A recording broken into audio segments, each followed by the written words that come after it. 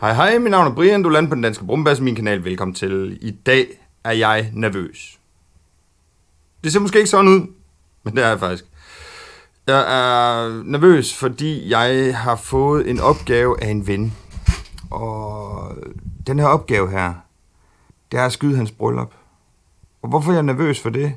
Altså, jeg kan godt finde ud af at tage billeder, jo, men jeg kan jo ikke bede dem om at tage tøjet på igen en anden dag, og så sige, det her billede vil faktisk være bedre, hvis vi gjorde sådan og sådan og sådan. Så hvis du virkelig skal ramme det, så rammer du det. Og du har kun én chance det i dag. Så jeg er nervøs. Og så er det sagt. Og jeg kan lige så godt sige det, som det er, for det er sådan, det er. Jeg er nervøs for i dag. Men jeg er stadigvæk spændt, og jeg håber, jeg får noget godt i kassen. Jeg håber, jeg får det nogle gode skud, fede skud, som jeg plejer. Og, og jeg kunne godt tænke mig at prøve noget, noget spændende noget anderledes. Noget, noget, øhm, noget med glaskuglen, for eksempel. Jeg kunne godt tænke mig... Ja, det, det, der er lige nogle tanker med glaskuglen i hvert fald. Og, og, og, og så, det ved jeg så ikke, om de, de er med på, men, øh, og, og hvor travlt de har og sådan noget. Fordi jeg kan jo bruge enormt meget tid på billeder. Det ved vi jo alle sammen. Jeg tænker egentlig bare, at jeg snart skal til Aalborg, og det skal jeg så ikke lige forløbe alligevel. Jo, det skal jeg lidt. Klokken er 11.19. 14.30, der skal de begge to være i kirken. Hun er der 14, 15. Det vil sige, at jeg skal være lidt før, så jeg kan tage nogle billeder udenfor. Men jeg regner med at være der før det. Så jeg regner med at tage et bad, få noget spise. Ja, jeg ved godt, det er sent, men jeg har siddet og pakket nogle ting og sager, og flyttet nogle filer og gjort nogle ting og sager hen på kreativ værelse, for lige at være sikker på, at jeg har de ting, jeg har med, de er tomme, der er ikke andet på, og så har jeg nyopfrisket, opladet batterier med, og så videre, så tænker jeg, så kan jeg ikke gøre det bedre i forhold til det. Og de vil gerne have video lavet noget, de vil gerne have fotograferet noget, så det er sådan lidt en blanding af det hele. Og de vil gerne have øh, øh, video lavet selve, hvad hedder den, selve hvilesen. Så det er der, hvor jeg tænker, at jeg bruger det her kamera til det, mens jeg måske skyder nogle billeder. Jeg, jeg, jeg ved det ikke, jeg er ikke sikker. Det kan jo godt være, at jeg kommer frem til, at jeg får en god plads, så jeg kan sidde og se direkte op mellem dem op på dem. Og så vil jeg bede ham om at bære en mikrofon, så vi er sikre på, at vi får lyden. Yes. Så det her det er første gang, jeg skal tage billeder af et bryllup. Det er første gang, jeg skal tage billeder af folk, der bliver viet, gift, festen, brudetøjet. Og så håber jeg på, at jeg kan lokke dem ud i en skov, og så tage nogle billeder derude også. Men det vil tiden vise. Vi må, vi må se, hvad, hvad, hvad, hvad, hvad tiden bringer. Lige nu her, der er vi øh, fire minutter ind i, i den her video, hvor jeg bare sidder og piver. Men velkommen til. Mit navn er Brian, og det her det er den danske brumbasse. Kør introen.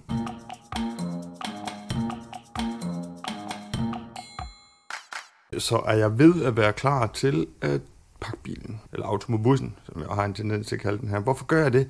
Det gør jeg af den simple årsag. Det kan være, der skulle være en anden video om det. Nej, så lang er forklaringen. Forhåbentlig er det ikke, Brian. Jo, nej. Det er den. Hvad jeg gerne vil sige? Det, jeg gerne vil sige, det er, at jeg kalder den automobussen, fordi at alle de her sprinter, alle de her busser, alt det her, jeg kører rundt i til daglig, som er en del af mit arbejde, det tager jeg et ekstra kørekort for. Jeg kan ikke bare køre rundt i det på bilkort, bilkørekort. Jeg tager noget, der hedder D-kørekort. Og det er jo super smart. Så kan politiet ligesom sige, nå okay, du har buskørekort, fint nok. Og det hedder buskørekort. Men når jeg så går jeg blandt mine kollegaer, så har de en tendens til at sige, øh, kan du ikke lige tage den der bil der, og så komme ind i garagen med den, og så får vi lige fikset det på den, og sådan, sådan, sådan. Så går jeg ud, og så, så kommer jeg samtidig tilbage og siger, jeg kunne ikke finde nogen bil. Så siger de, Brian, hvad fanden snakker du om? Undskyld mit sprog. Så siger de, Brian, hvad snakker du om? Den holder lige derude. Ja, altså, den, den eneste bil, jeg kunne finde, den har jeg ikke nøgle til. Hvad, hvad, hvad, hvad mener du? Den holder lige der. Nøglen sidder i. Nå, bussen derovre. Ja, nej, det er jo ikke en bil, så, øh, så den tog jeg ikke lige. Andre gange, så går jeg bare ud og siger, så kommer jeg tilbage, fordi jeg har fundet en bil med nøgler i. Og så kører den ind på garageanlægget. Så er de heller ikke begejstrede. Jeg synes nu stadigvæk, det er meget skægt. Det er bare for at understrege. De siger bil. Det er ikke en bil. Jeg har taget buskørekort for at kunne køre en bus. Det kan du ikke gøre på det almindelige. Kan du selvfølgelig godt. Fordi det er jo som sagt en sprinter. Der er en tagograf til forskel. En uddannelse til forskel. Jeg synes ikke, det er fair, at man bruger sin tid på at... For ellers så kunne de lige så godt give mig et taxakørekort også, og, og alt muligt andet samtidig. Men det gør de ikke. Nå, så fik jeg lige peven lidt til jer. Det, var- det var skønt. Det var lige det, jeg stod og trængte til, eller mangle eller noget, tror jeg. Pak bilen. Det var det, jeg ville. Automobussen. Det der kan vi også kalde den. Det gør vi lige. Eller jeg gør lige. Så er klokken 13.02, og jeg er den, der er rullet her hjemmefra. Så må vi se, fordi jeg, altså, jeg har siddet i syv minutter og bare ventet på, at klokken den skulle blive, hvad den skulle blive. Jeg er virkelig nervøs. Som jeg sagde tidligere, det der med, at du har, du har kun den her ene chance for at skyde det rigtigt, ikke? Og, og brænder du den, så er det bare energi. Og det er jo helt klart det, man håber på, at det er ikke det, der sker mod Aalborg. Vi er lige landet i Aalborg og fundet en parkeringsplads. Der er ikke nogen mulighed for at parkere uden øh, betaling, så det må jeg så også gøre. Uh. På vej over mod kirken, jeg skal lige over finde den, se hvordan den, uh, se, hvordan den ser ud. Nu har jeg set uh, Nick, som er ham, der skal giftes, hvilket også er min bekendte kammerat. Og han er også herude et eller andet sted. Så i hvert fald komme kørende med en barnevogn, to små børn, og så tror jeg nok, det var en søster. Så yes, yes. Øhm, så jeg går over til kirken, og så se, om jeg kan få styr på det her, uden det ser helt fjollet ud. Yes, vi er ankommet i kirken. Jeg tror, jeg tager den plads der.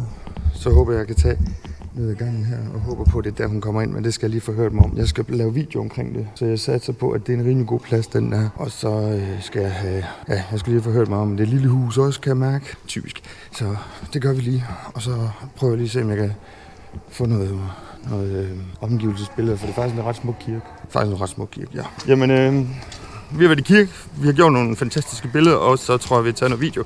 Og det gik lidt i givet til at starte med. Allerede fra starten af gik det i jeg givet. håber, min far han havde, Hvorfor gik det i givet? Hvorfor gik det i givet? Hvorfor gik hvad i givet? Hvorfor gik det i givet med det bryllup her? Altså, han har glemt ringene og alt muligt. Lige præcis, glemt ringene, det må man bare ikke på sådan en dag som den her. Så vi er på vej over til bilerne, på vej ud øh, i skoven for at tage nogle billeder med børn og brudepar. Og så er det hjem og så holde noget fest bagefter. Men nu starter vi lige med, med billederne. Okay, vi ses ude i skoven. Sådan, vi er ude i skoven, og vi har faktisk fået taget billeder. Jeg har prøvet noget med glaskuglen, jeg har prøvet noget med blomster, jeg har prøvet nogle forskellige billeder, også hvor hun har slæbt ham, og han har løftet hende, og der har været lidt forskelligt. Så jeg tror, der er noget godt her imellem, og derudover så tror jeg faktisk også, der er noget spændende. Alt, alt hvad jeg kan få af leg med den der glaskugle, synes jeg sådan set er... Ja. Så er det bare spild af penge. Vi skal til fest nu, eller vi skal i hvert fald have dem til fest, så vi skal sådan set til at køre. Vi har været ude i en times penge halvanden. Tiden går hurtigt, når man er et godt selskab. Ja, du ved, hvad jeg mener. så jeg tager dem, og så racer dem til fest, og så skal vi have nogle billeder. Jeg ved ikke, om jeg bliver der, fordi så har jeg nemlig en anden idé. Jeg tror, det bliver stjerneklart i aften, at det kunne være monsterfag. Der har jeg en lille idé også, nemlig.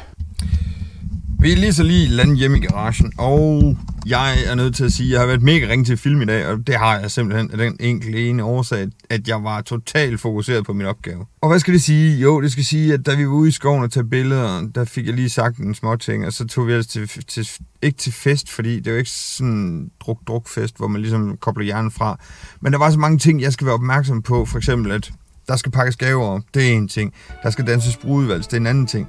Der skal også tages billeder af samtaler og taler, og der skal tages billeder af bordet rundt, og der skal tages billeder af, når det sker kage, der skal tages billeder af, byder velkommen og alt det her. Ikke?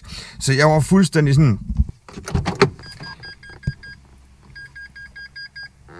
Jeg ved ikke lige, hvad der skete, og hvor langt vi nåede i den samtale der, men, men min GoPro besluttede sig lige pludselig bare for at lukke ned. Det jeg vil sige, det er, at det er første gang, at jeg var til sådan et bryllup, så derfor så var jeg totalt fokuseret. Det er ligesom om, alt skal bare. Men, men pointen er, at, at jeg tror, jeg fik nogle rigtig fede billeder med. Jeg prøvede nogle, nogle, nogle forskellige ting med Q. Det her det er mærkeligt. Den har korttidsinterval optagelse lige i øjeblikket. Jeg ved ikke, hvad filen det går ud på, men den vil ikke optage. Om det er fordi, den er kold eller et eller andet, det ved jeg ikke. Pointen her, det er bare, at Brian han gerne vil sige, det er mit første bryllup. Jeg synes, det var en fed oplevelse. Jeg, synes, jeg ved ikke, om det er batteri, der er problemerne, eller om det er GoPro'en, der, der ikke kan tåle at blive kold. Men jeg får små kort video lige i øjeblikket, hvor jeg overhovedet ikke kan. Jeg, jeg har pillet den her af, jeg har pillet den her af, og nu sidder jeg kun med kameraet tilbage, så det kan godt være, at den sådan lige lyder træls og sådan noget. Men jeg ved ikke lige, hvad der foregår. Det er lidt træls. Jeg håber, det er batteri, den er galt med. Det er GoPro i sig selv, den er galt med. Nå. Første bryllup. Fed oplevelse. Optaget. Filmet. Klippet. Video, billede, masser af billeder. 64 GB på et kort. Det er fra kirken og lidt af maden. Og så er jeg spændt på at se, hvad der ellers er. Og hvor mange billeder jeg det hele taget nået op på, for jeg knipset bare løs. For det er lige sikker på, at jeg kommer hjem med noget og noget godt noget. Så det vil jeg gå ind og undersøge, det vil jeg gå ind og kigge lidt nærmere på nu her. Så håber jeg, at min GoPro det vil optage lige, mens jeg laver det her. Og ellers så tror jeg, det, det er en mega dårlig video det her, det er jeg godt klar over. Så jeg tror bare, vi gør sådan her mega kort, mega hurtigt. Bup, bup, bup. Tusind tak, fordi du kiggede ind. Mit navn er Brian Holmflyvende.